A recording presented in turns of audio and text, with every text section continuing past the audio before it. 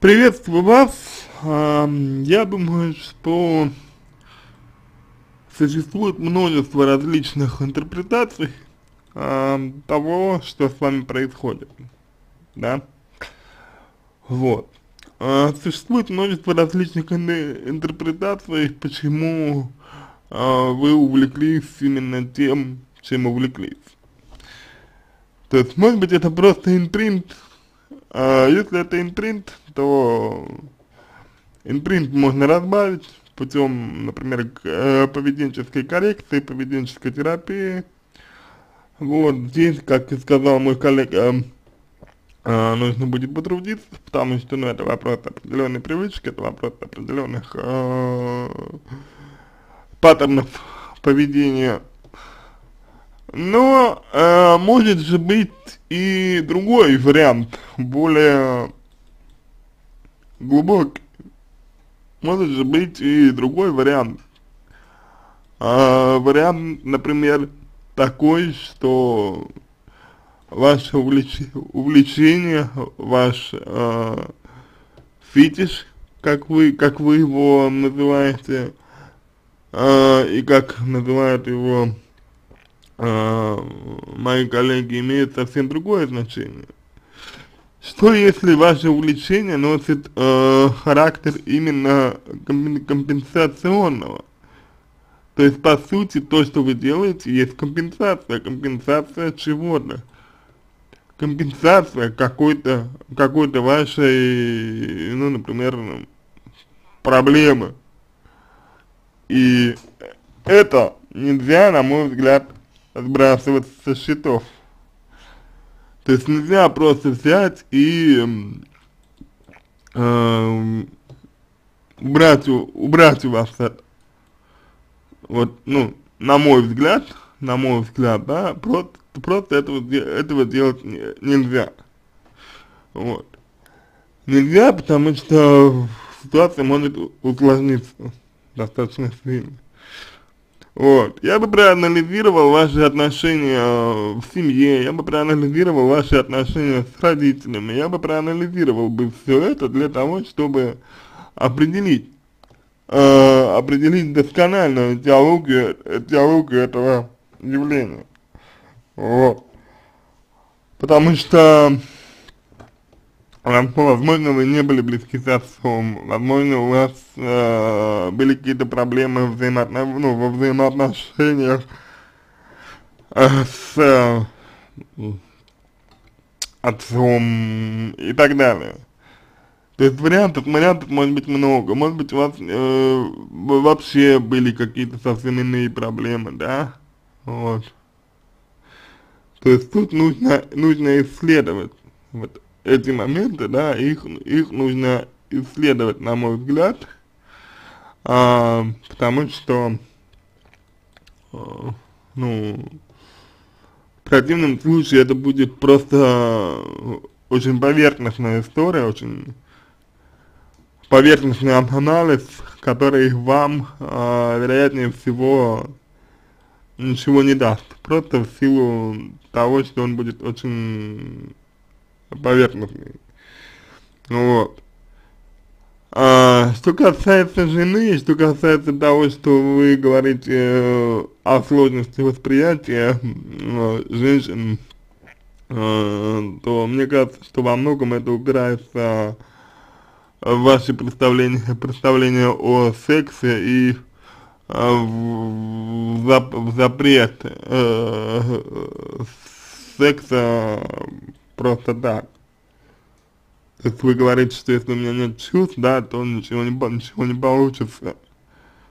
А, на мой взгляд, здесь мы говорим о вашей неуверенности в себе. На мой взгляд, мы говорим здесь о том, что вы э, сомневаетесь, что вы боитесь, что вы склонны к, к тревоге и так далее.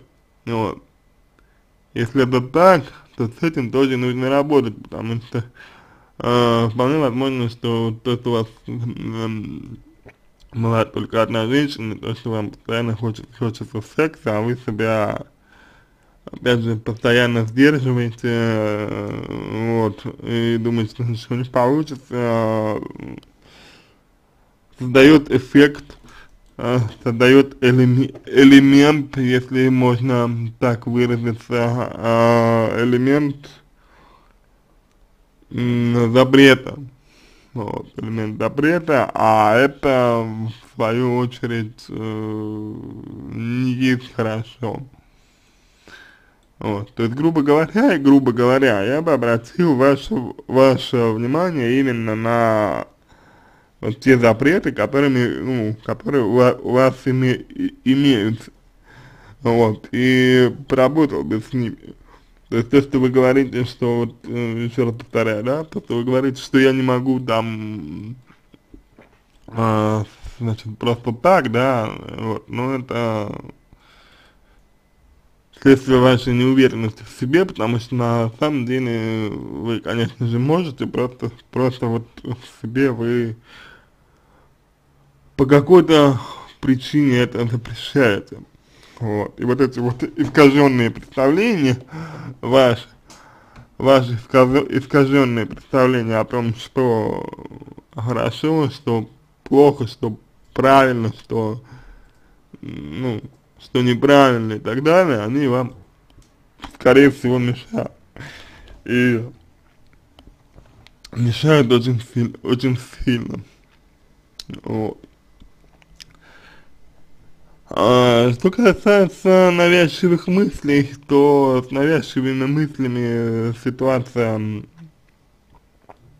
э, деликатная, э, ну, еще больше, еще больше деликатная, потому что э, не совсем понятно, э, с чем э, э,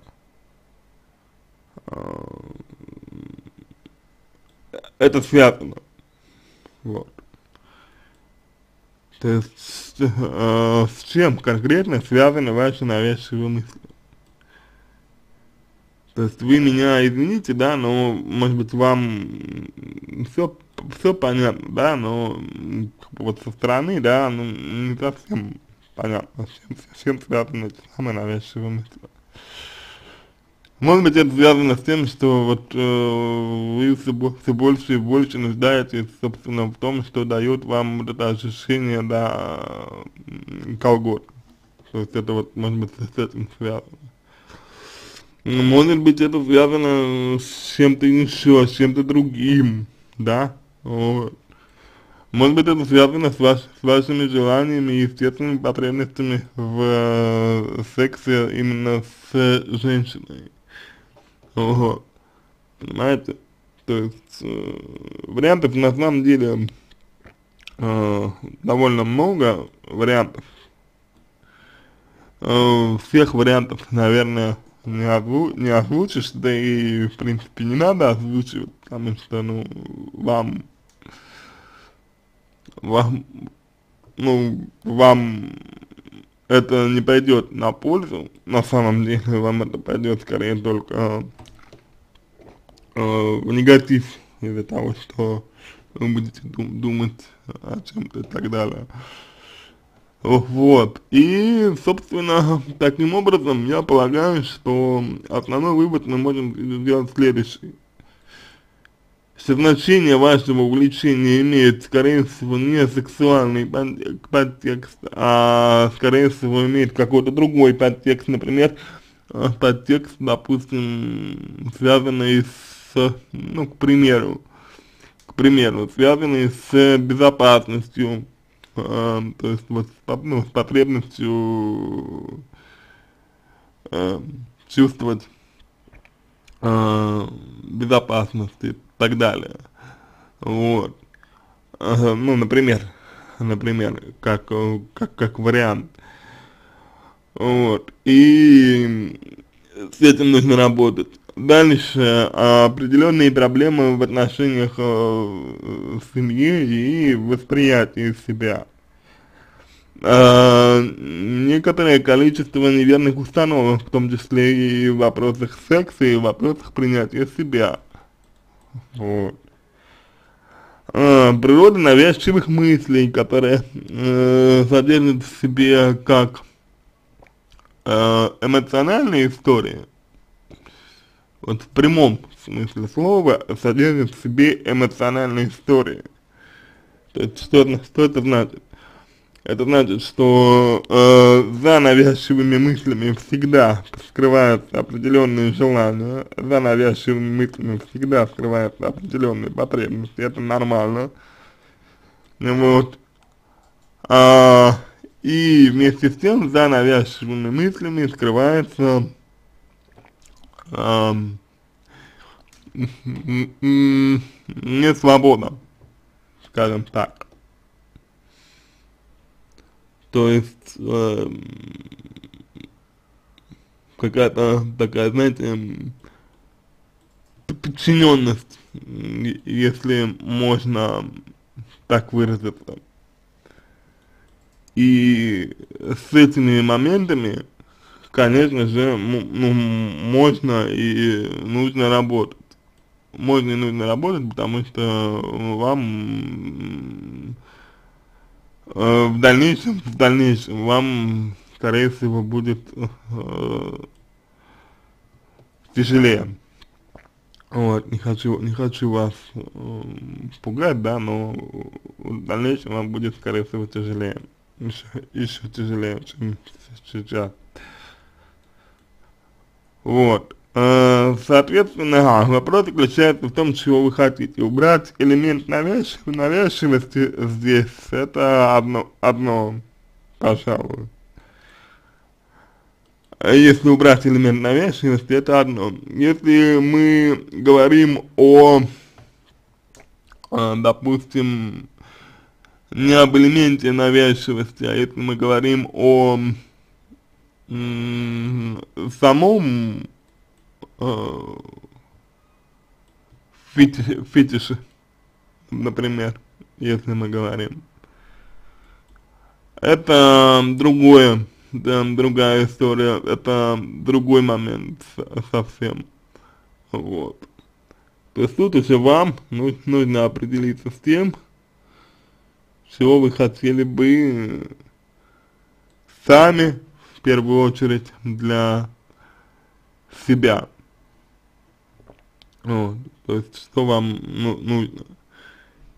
И исходя из этого уже можно, можно было бы вам э, что-то э, рекомендовать. Вот. Это вот такие моменты. То, что я могу вам выразить, исходя из э, того, что вы написали. Вот. Возможно, вам э, потребуется работа с сексологом. Возможно. Возможно, что и нет. Если проблема действительно психологическая. Вот. Вот, в принципе, так. Так можно вам ответить на ваш вопрос который вы задаете, ага, я надеюсь, что, что для вас это было полезно, надеюсь, что вам это облегчило, облегчило немножко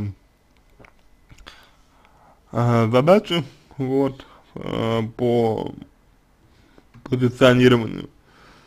Вот, хочу э, заметить лишь э, один еще момент, который я подзабыл упомянуть.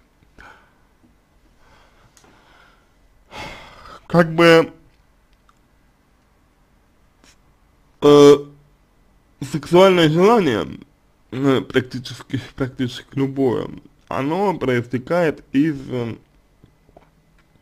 э, безопасности. То есть, ну, из, из чувства безопасности проистекает желание э, сексуальное. И, соответственно, можно говорить о том, что вы, вы эм, чувствуете, ощущаете возбуждение тогда и только тогда, Когда, когда вы э, понимаете, что защищены. Соответственно, на мой взгляд, на мой взгляд, исходить нужно из того, когда вы чувствуете себя в безопасности, как вы чувствуете себя в безопасности, ну и так далее.